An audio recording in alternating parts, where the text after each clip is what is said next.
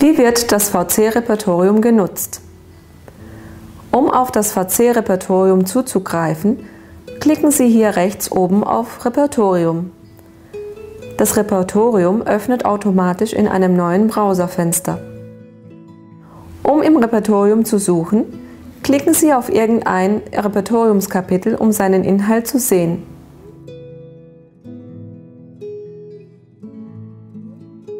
Klicken Sie hier links auf diesen Pfeil, um in die Arzneimittel dieser Rubrik zu sehen.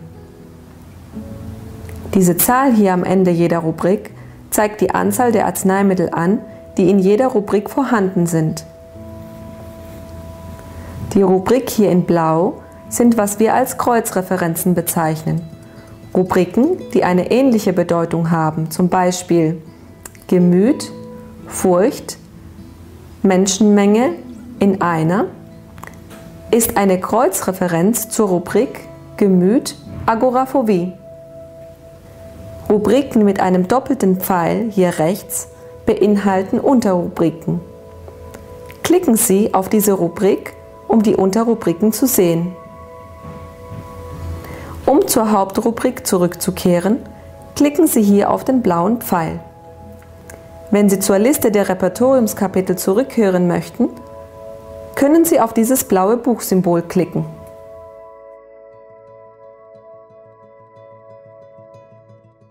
Ein Online-Wörterbuch, eine Übersetzungs- und Nachschlagehilfe für das Repertorium. Um die Suche nach Repertoriumsbegriffen und Formulierungen zu erleichtern, können Sie das VC Online-Wörterbuch, die Übersetzungs- und Nachschlagehilfe für das Repertorium nutzen. Auf der Seite Mein Kompass klicken Sie auf den Tabulator Repertorium. Sie können auf die feinsten Internet-Wörterbücher und Übersetzungsmodule zugreifen.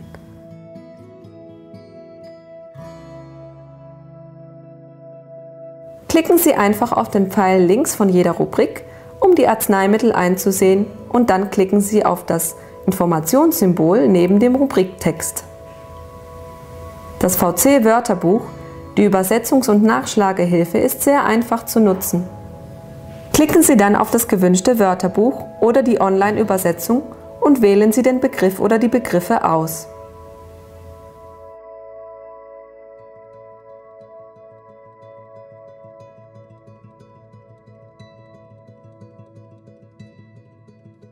Finden Sie Begriffe des Repertoriums in den VC Materia Medica Büchern und George Withulkas Notizen. Sie können auch jedes Repertoriumswort in der George Withulkas Online-Büchersuche finden.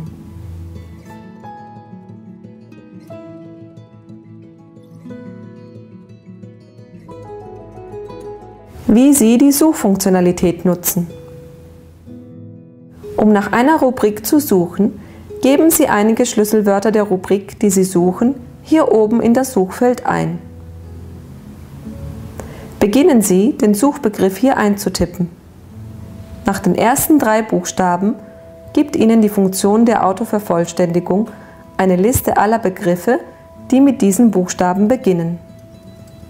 Zum Beispiel nehmen wir an, wir suchen nach Verlangen Süßigkeiten. Wenn Sie die ersten vier Buchstaben des Wortes Verlangen eingeben, erscheint eine Liste mit Begriffen, die mit diesen vier eingegebenen Buchstaben beginnen. Wählen Sie bitte Verlangen. Dann geben Sie in das Suchfeld den Begriff Süßigkeiten ein. Klicken Sie auf Suche oder drücken Sie Enter. Hier sind die Ergebnisse Ihrer Suche. Um Ihre Suchergebnisse zu filtern, geben Sie die gewünschten Buchstaben oder Begriffe in das Suchfeld ein, ohne auf Suche zu klicken. Die Ergebnisse Ihrer Suche erscheinen in einer Liste und sind nach Relevanz zu Ihren Suchbegriffen sortiert. Bitte beachten Sie, dass die von den VC-Nutzern meistgenutzten Rubriken ganz oben auf der Ergebnisliste erscheinen, entsprechend den Ergebnissen aus der statistischen Analyse evidenzbasierter Daten. Die Suchergebnisse können auch Synonymergebnisse der eingegebenen Begriffe beinhalten.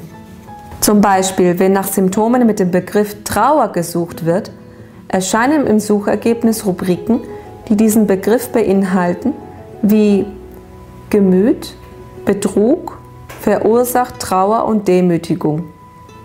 Aber auch Rubriken, die synonyme Begriffe zum Begriff Trauer beinhalten, wie Gemüt, Erregung, nach Traurigkeit oder Gemüt, Kummer.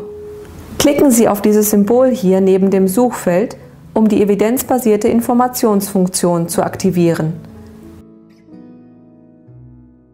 Wenn diese Funktion aktiviert ist, werden Symptome, die nie zuvor von VC-Nutzern genutzt wurden, in einer helleren grauen Farbe angezeigt.